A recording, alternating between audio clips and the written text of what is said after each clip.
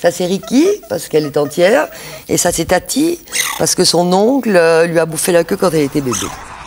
Alors décidément, à chaque fois qu'il faut choisir entre l'homme ou l'animal, hein, je- même euh, j'ai envie de dire qu'il n'y a pas beaucoup d'hésitation. Est-ce qu'il en est de même pour vous non. Mylène, vous choisissez aussi la, la mangouste? Non, nous pas du tout. Nous, euh, c'est drôle d'ailleurs. Quand, quand j'étais petite, je rêvais d'avoir des chats et euh, ma mère voulait pas de chat, donc j'avais pas le droit d'avoir des animaux à la maison parce qu'elle disait que c'était sale. Et que j'ai- enfin, je me battais avec elle. J'ai eu, euh, je suis mariée ensuite un premier mariage avec un homme qui tolérait un chat vaguement parce que c'était beau et que c'était esthétique. Mais ce n'était pas une passion. Et puis quand j'ai rencontré Marc. euh, j'ai rencontré quelqu'un qui avait la même Votre passion. mari Mon mari actuel depuis euh, 27 ans. Et euh, on avait la même passion. Et donc là, on s'est libéré totalement et on a eu euh, toutes sortes euh, d'animaux possibles et imaginables. Et puis un jour, on a rencontré les mangoustes. Grâce à un livre d'ailleurs, c'est pas, j'ai pas rencontré ça comme ça à travers le cinéma ou non, j'ai lu un bouquin d'Henri de Montfred qui parlait de l'extraordinaire intelligence des petits animaux et ça m'a fasciné. Mylène de Mongeau, beaucoup de gens vous connaissent. Vous avez fait, vous, vos débuts, donc au début des années 60, à la fin des années 50, donc dans Les Sorcières de, de Salem. Après, on vous a vu dans Fantomas. On vous a souvent comparé, et je sais que ça vous énerve. On a dit que vous étiez la rivale de Brigitte Bardot. Bah oui. Eh oui. Euh, est-ce qu'elle est-ce qu'elle morde Ah, les gens qui ont peur, généralement, elles reçoivent un bon petit coup de dent. Ça fait mal Mes copains qui n'ont pas peur, tout se passe très bien. Elles vont sur les épaules, elles font des bisous dans l'oreille, elles sont extrêmement sociables, mais il ne faut pas avoir peur. Voilà. Mais j'ai des copines qui ont très peur. Et puis, de temps en temps, elles me font des coups de Trafalgar, c'est-à-dire qu'il y a- il y, a une semaine, elles se sont sauvées. Quand j'ai ouvert la porte, elles, comme elles sont très malignes, elles ont voulu- voulu aller voir ce qui se passait en bas. Elles ont filé chez mon copain, le voisin, qui habite à deux petites maisons à côté. Elles sont rentrées dans sa chambre. Il n'était pas tout seul. Il y avait une très belle blonde qui était là. Elles se sont précipitées dans le plumard. La blonde a hurlé de terreur. Le monsieur est venu me chercher.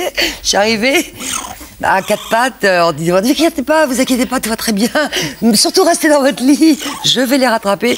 J'ai rattrapé les mangoustes. Alors ça, elles adorent. Elles sont ravies. Ce sont des coquines. Voilà. C'est un Oui. animal coquin. Est-ce que c'est un mâle et une femelle Ce sont deux petites sœurs. Deux petites De la sœurs même portée. qui s'appellent comment Et, euh, alors il faut voir les queues. Ça c'est Ricky parce qu'elle est entière.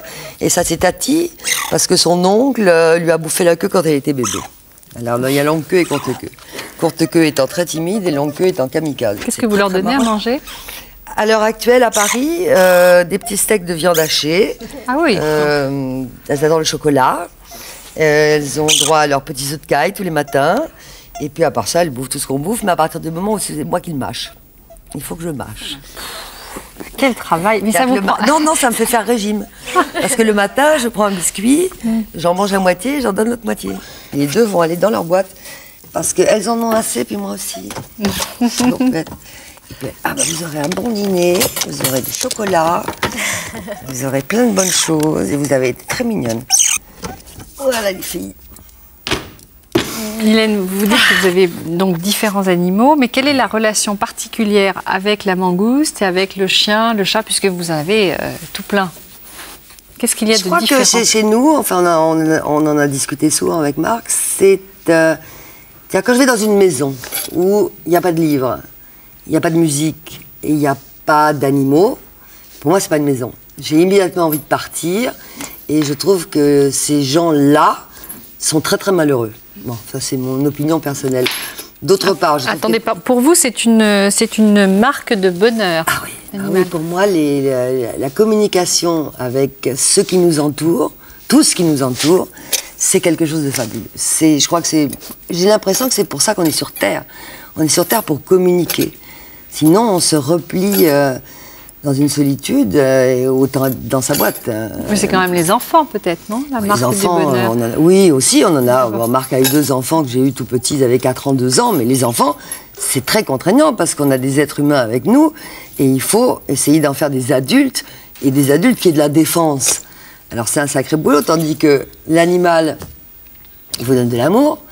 Vous lui donnez de l'amour, vous échangez des sensations, vous le touchez, c'est sensuel. Hein, il ne faut pas se leurrer. Je veux dire, on voit bien la relation entre un homme et un dauphin. Ça ne sent rien que ça être pervers, je trouve. c'est complètement sensuel. Quand on voit euh, la migale tout à l'heure sur, le, sur les mains des, des enfants, il y a quelque chose, il y a un contact euh, entre, entre la peau, entre les poils, entre la bête. Bah, c'est dommage qu'elles sentent rien. D'ailleurs, en fait, vous n'en savez rien qu'elles sentent rien. Peut-être qu'elles sentent des choses, mais elles vous le diront jamais. Tandis que la mangouste, elle, elle vous le dit. La mangouste a un langage. La mangouste parle. Elle a à peu près, euh, j'ai calculé, cinquantaine de sons à sa disposition euh, que je traduis très bien maintenant. Je sais très très bien ce qu'elle me raconte. Mylène, quel est le moment pour vous le plus sensuel avec vos mangoustes C'est le câlin du matin. Parce que le, câlin du matin, à n'importe quelle heure je me réveille, que ce soit 6 heures ou 7 heures ou 8 heures, je sais pas, elles ont une horloge interne absolument phénoménale. Dès que j'ouvre un œil, j'entends tagada tagada dans le grenier, elles arrivent comme ça et plouf, ça se met en écharpe sous le cou. Et puis ça commence à faire des, des gazouillis, des trucs dans l'oreille, des trucs dans le nez, des machins. C'est divin. C'est extraordinaire. Ça me met de bonne humeur pour la journée. Vous auriez eu, oui, des enfants. Est-ce que Oui. vous pensez que vous auriez cette même passion des animaux? Ah, certainement. Ça, ça, ça, certainement, puisque Marc a ses deux enfants Ouais, de et qu'il avait façon. cette même passion. euh, simplement, euh, de nos deux enfants, il y en a un qui adore les animaux et un qui a, été, qui a peut-être été agacé par, ce, par ça, qui est beaucoup moins attiré par les animaux que. Vous en avez trop, c'est ça? Peut-être. Pour ne rien manquer sur ma chaîne Ina Mireille Dumas, abonnez-vous et activez la cloche.